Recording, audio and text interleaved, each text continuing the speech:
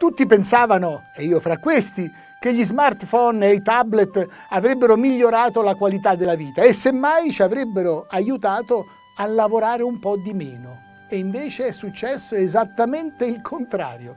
In ogni momento della giornata, fin da quando ci svegliamo, iniziamo a controllare la posta elettronica, a rispondere agli sms, a scrivere, a leggere, a twittare, a spedire mail, eh, eh, non so, a cercare un volo o un treno, a prenotare un albergo, aggiornare eh, oppure aggiornare il profilo e, e, e, via dicendo, con le mille attività che si fanno con questi, con questi strumenti.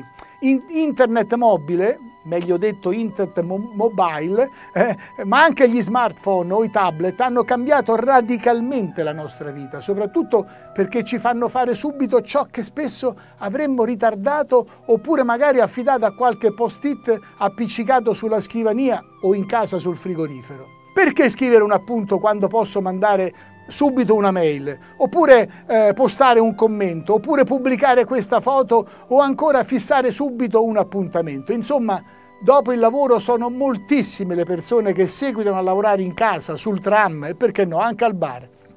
Il famoso e tanto desiderato tempo libero è diventato di fatto tempo occupato. Non abbiamo usato la tecnologia per lavorare di meno, ma la tecnologia ci fa lavorare di più facciamo invece più cose, più in fretta e non sempre riusciamo a guadagnare di più, anzi, diciamo quasi mai. Improvvisamente abbiamo avuto a disposizione strumenti formidabili, fulminei, gratuiti e c'è chi ha imparato a dominarli e chi li domina.